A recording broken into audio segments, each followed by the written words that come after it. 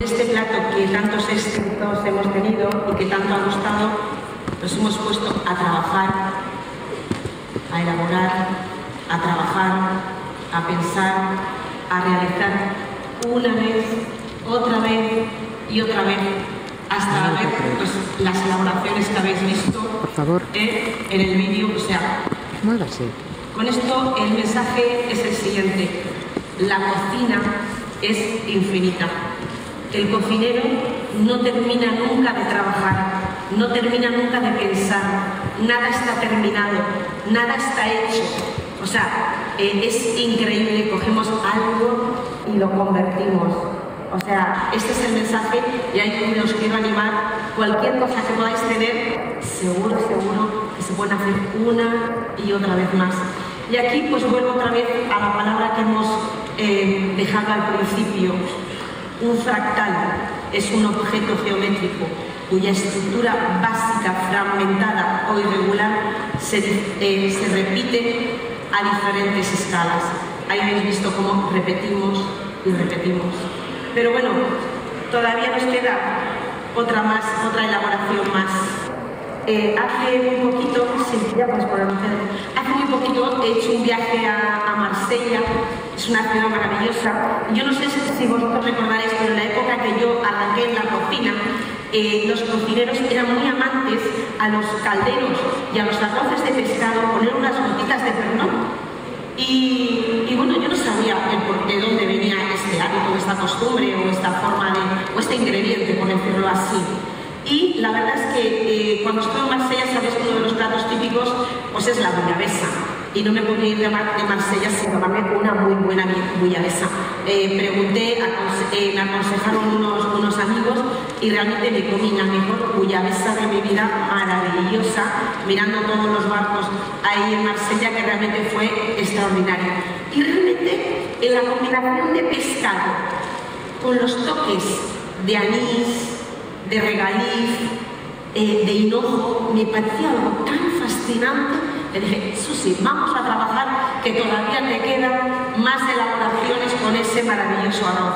Ahora mismo, eh, aquí tenemos anís estrellado, tenemos anís fresco, tenemos hinojo, tenemos regaliz y aquí tenemos el caldo de la primera cocción. ¿Sabéis que os he dicho que hago una primera cocción del arroz? Pues ese caldo de esa primera cocción lo tenemos aquí. Le hemos echado unas gotitas de perdón para, como homenaje a esa bullabesa que ha sido la que me ha inspirado para hacer este, este otro plato de arroz negro. ¿no? Ahora está calentando. Realmente lo que va a hacer no es una destilación, yo diría más bien que es una forma de infusionar pero sí que es verdad que ahora cuando se caliente y pase aquí a la copa y coja los toques de anís, los toques eh, de hinojo, de regaliz, os puedo decir que es fantástico, de verdad, fantástico. ¿eh? Y bueno, aquí José Luis ya nos ha preparado una, una copita y solo vamos a dejarle dos segundos porque él solo tiene que hacer toda su elaboración a pasar enseguida. Y abriendo este pequeño grifito, sacaremos ese arroz con hinojo, con regaliz, como os he dicho, ¿eh? y con las especias que le hemos puesto. Al final lo que hicimos fue eh, leer los ingredientes que lleva un pernón y sacarlos para ponérselos en fresco, porque aunque le poníamos las gotitas, no es el mismo matiz si le ponemos lo que es, el, lo que es eh, la especia pura y dura de forma natural. ¿Verdad? Falta un poquito, ¿verdad? La posibilidad pasa. ¿eh? Y, y realmente para que veáis que mmm, la cocina la tenemos aquí.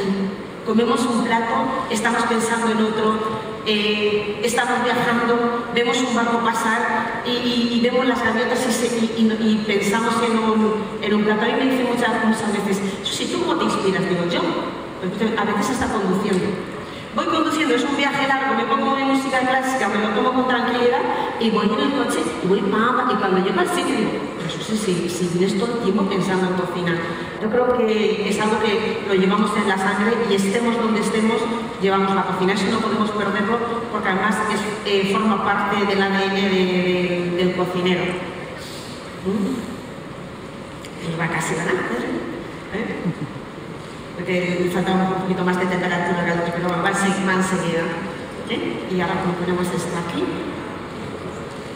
Y como habéis visto, siempre utilizando los mismos, mismos ingredientes para todo. Ya tenemos, ¿veis? Como, como está saliendo, está infusionando, ahora se infusiona. ¿eh? Muy bien. Perfecto. Bueno, pues ahí se quedan unos segunditos, coge todo ese aroma, todo ese sabor y lo tenemos.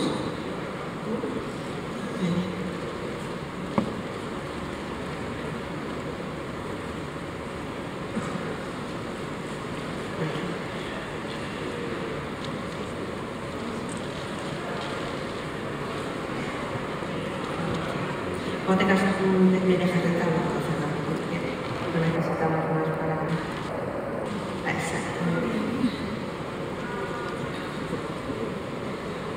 Bueno.